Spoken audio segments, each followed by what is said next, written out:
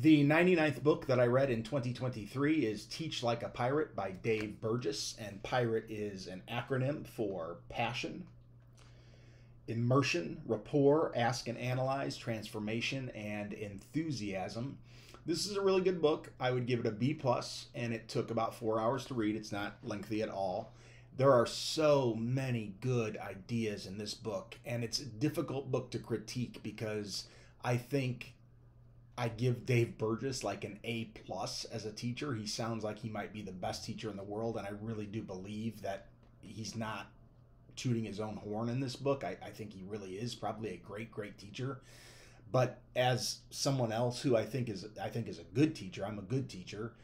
I, I don't think that I could find the time to develop some of the lessons, at least on a daily basis, that he has developed in this book. It sounds like he brings it every single day to the classroom, and my hat is off to him, but I, I don't exactly know how that's possible for most people. I know at the high school level, we've got, he teaches sixth grade, and at the high school level, we've got committee work and leadership work and, and documents to develop and, and just things that pulled you out of the classroom. And I think his answer would be, well, don't let that happen.